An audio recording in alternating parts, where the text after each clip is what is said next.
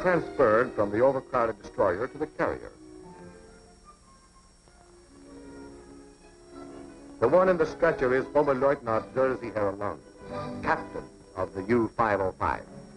The first man out of the conning tower. He was instantly blown overboard by a shell.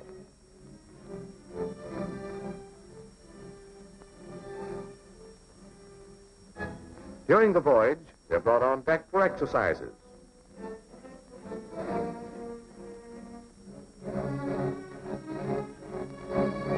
And a thorough salt shower.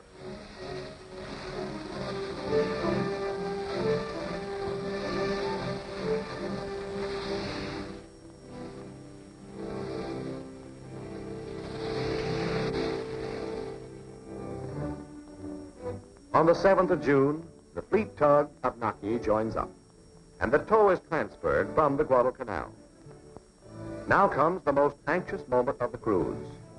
As she loses way, Junior, as the crew have christened the sub, sinks lower and lower in the water. The salvage party works desperately to take all movable weights out of the U-boat.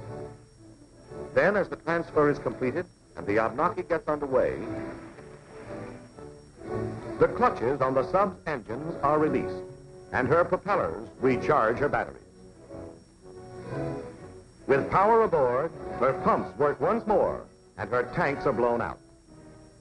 Now she rides again at full surface trim.